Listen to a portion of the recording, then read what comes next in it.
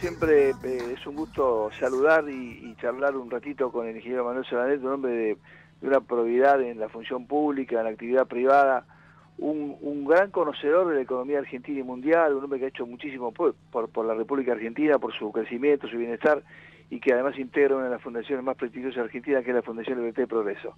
Manuel, Nacho Riverol saluda, buen día, ¿cómo estás? Buen día Nacho, ¿cómo estás vos?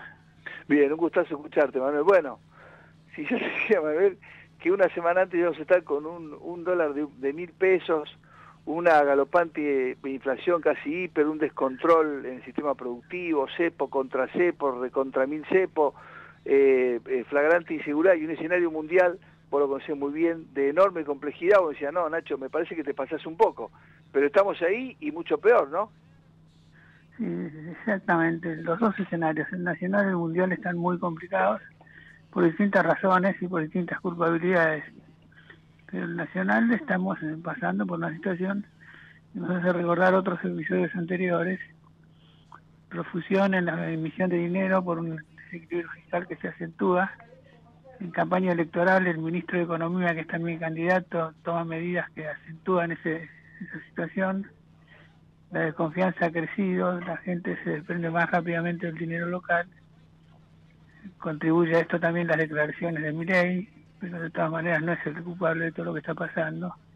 Y ahí tenemos una figura que ya es casi hiperinflación, lamentablemente. Lamentablemente. Manuel, vos conocés muy bien cómo deteriora el salario de los regularmente registrados, de los informales, de los monotributistas, de los cuentapropistas. Nos están haciendo, como dijo Patricia en el debate, viniste a sacar las papas del fuego, se estás haciendo puré. Totalmente los que más sufren esta situación son exactamente los que tienen ingresos fijos por salarios y nunca se ajustan al mismo ritmo que suben los precios. Lamentablemente es así, pero el populismo logra este efecto, a pesar de que sus intentos suelen ser de inicio favorecer a los más débiles, pero lo hacen de manera de que finalmente nos perjudican y así estamos.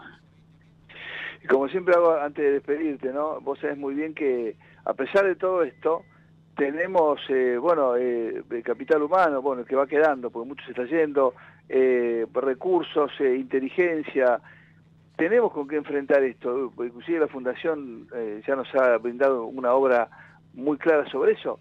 Hay futuro posible, lo que pasa es que no tenemos que equivocarnos de acá ocho días. Por supuesto. Nosotros desde la Fundación venimos elaborando un programa de gobierno con mucho detalle y siempre tenemos la aspiración de que se ponga en ejecución. Lo sabremos después del 22 de octubre o tal vez después de noviembre. Pero yo creo que tenemos una expectativa favorable. Vamos a ver qué ocurre. El mundo quiere lo nuestro, ¿no? Quiere nuestros productos y más, pero nosotros somos incapaces de relacionarnos con los mejores. Vamos con, estamos jugando con los peores, con la peor liga. La paradoja argentina. Manuel, buen fin de semana, siempre es un gusto escucharte, un fuerte abrazo y gracias por tu gentileza de siempre. ¿eh? Gracias Nacho, gracias Nacho, un gran abrazo. Gracias, eh. el ingeniero Manuel Solanet, eh, recontra capo, la verdad es un hombre con una, una capacidad de gestión y una inteligencia eh, demostrada en lo privado y en lo público durante toda su vida.